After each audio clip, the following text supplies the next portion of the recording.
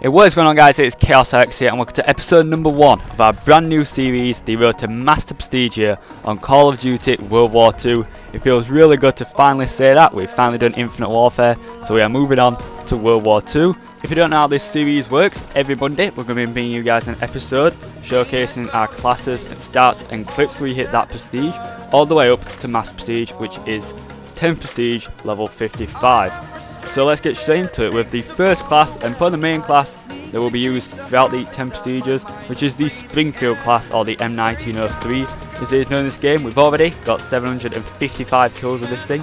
And as you can see by the hits, 770 hits, we've only ever got 15 hit markers with the Springfield, which just shows how powerful the Springfield really is. Uh, it's not a constant one-shot kill like the WZ or the PTRS, but it is still very powerful and as you see out of 770 hits only 15 have been hit markers. Uh, in terms of the accuracy 49% isn't too good to be honest but you know we're just getting back into World War II this is only the first prestige so I expect that to go up.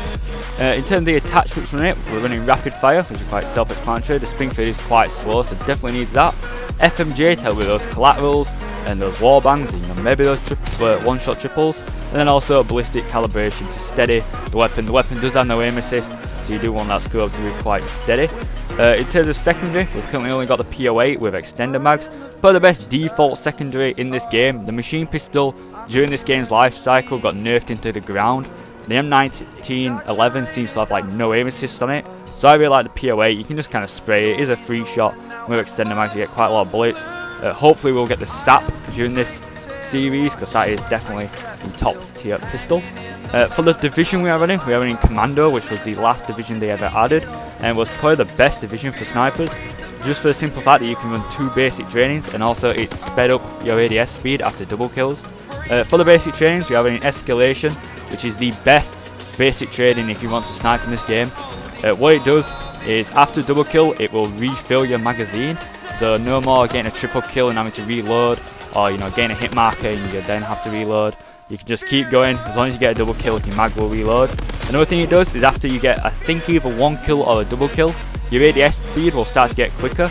So obviously that's really, really beneficial. And then the second basic training we've got here is Lookout. So what Lookout does is it highlights everyone's gamer tags and makes them huge. So if you get a triple kill and in the moment, you know, you need to quickly find that fourth, you can easily pick them off at a distance. It's also really good for seeing campers. And it's just a great basic training in general for snipers.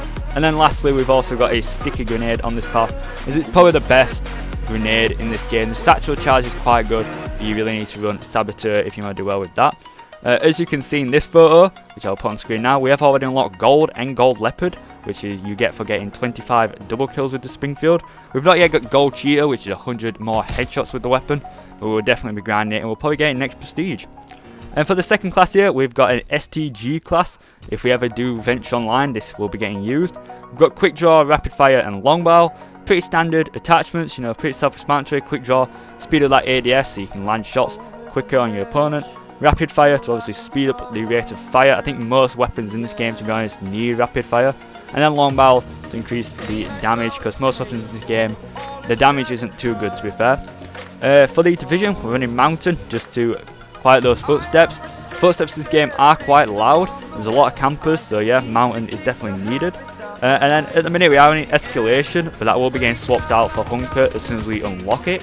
And again, the secondary is the PO8 with extender mag, a sticky, and a concussion, which concussion in this game are quite broken to be honest, they're quite annoying. But yeah, those are the only two classes we've been using so far. We've just been primarily using the Springfield, as it is my favourite sniper in this game, and Adzzy has been mostly playing on his account. So yeah, that is the classes. In terms of the stats, we currently have a 3.72 KD, however only 242 kills online. So if you don't get how war works in this game, which is the primary game mode we are playing, uh, your stats in terms of your kills and your deaths are not affected by war uh, to try and get people to play the objective. It somewhat does work to be fair, a lot of people just throw themselves on the objective, objective which is quite good. It's a definitely an objective based mode. So yeah, I do appreciate the fact that it doesn't change the KD. Uh, but also, as you can see, we have more kills with the Springfield than apparently we do overall. So that K KD and those kills, I can't see changing too much to be fair. I'm not really going to probably leave the war playlist. Uh, in terms of win-loss, we have a 1.56 and 72 wins, which to be fair, for war is quite good. uh, if you're playing war as a solo, as a duo, it's quite easy to lose it. You definitely need to have uh, competent teammates to win rounds of war consistently. So I'm quite happy with that 1.56. And then in terms of how long it took us prestige, 14 hours, which I'm quite happy with. 14 hours to prestige is quite quick, especially for sniping. Uh, I'm quite happy with that. So um, in terms of the clips we've hit during this prestige, this is going to be a new section of the videos. I thought I would bring to you guys these following clips. So the first clip I hear was hit by Adzzy, he's playing on his account, he's, he's got the Lee Enfield as his primary, playing a bit of Neptune, which is probably my least favourite out of all the operations here. Uh, we're trying to take that last bunker, which is definitely annoying, the last one. Switch trench knife here, does get killed, unfortunately.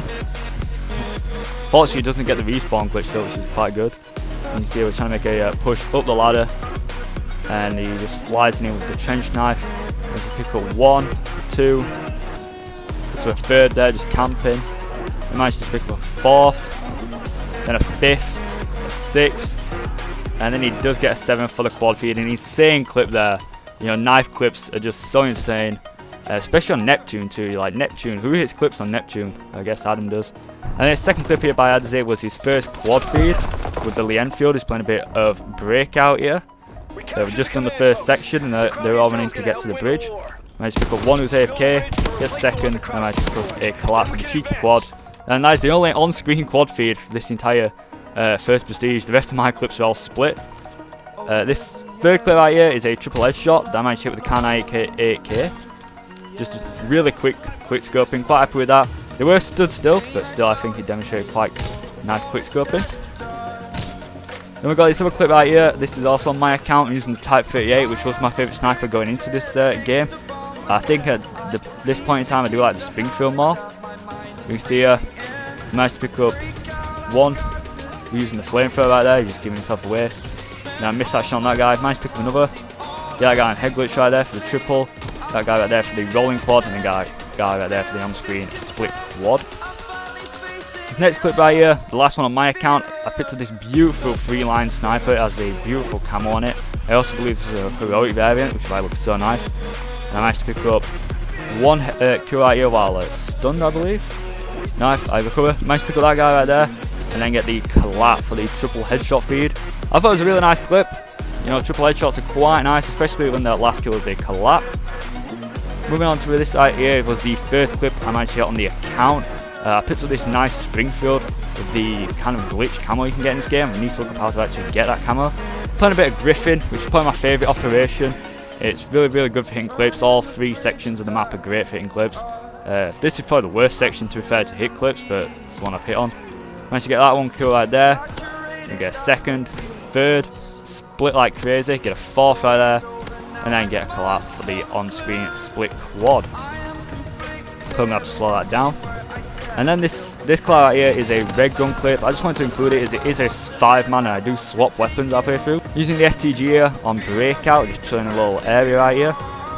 Just waiting for them to try and come up or take the headquarters. Managed to get that first kill right there on that guy, and then for Volk, get that kill, and then because of escalation, my mag keeps reloading. I actually turn into a five man feed, quad feed with the Volk and one kill with the STG. And I also wanted to include this really weird clip right here. Uh, I was playing a bit of Griffin, and I guess I must have, well, I do die. And then as I respawn in it, I get stuck. And I guess I must have put my tac insert under the tank. And I just get stuck up here in the sky. And yeah, it was really weird. I actually almost hit something. I was just going for no scopes, and uh, yeah, it was just a really weird clip. This game's full of glitches. I actually managed to pick up a kill, as you can see there. This game is full of weird glitches, and this is just one of them that, you know, it happened. So yeah, those are all the clips that we did hit during this Prestige. Now, sadly, there is no supply opening. Already, Twitch has doomed this series. Already, we've been claimed for copyrights on Twitch. Um, the COD lobby music appears to be copyrighted on Twitch for some strange reason. So it is already, instead of not even muting the audio, it is completely deleted this episode's supply drop and Prestige. So sadly you can't see this prestige and you can't see the supply drops we get. Uh, I don't think we got anything good. I think probably the best thing we got was the M1903 Faithful, which is a nice sniper. Uh, it's a bit rusty, but it does look quite nice when you put certain camos on it. But yeah, that has been episode 1 of the Road to 10 Prestige, well, Master Prestige, I can finally say Master, not 10 Prestige here, on Call of Duty World War II. I hope you guys have enjoyed. If you did, leave a like, subscribe to follow along, and I will see you guys in the next one. Thanks for watching.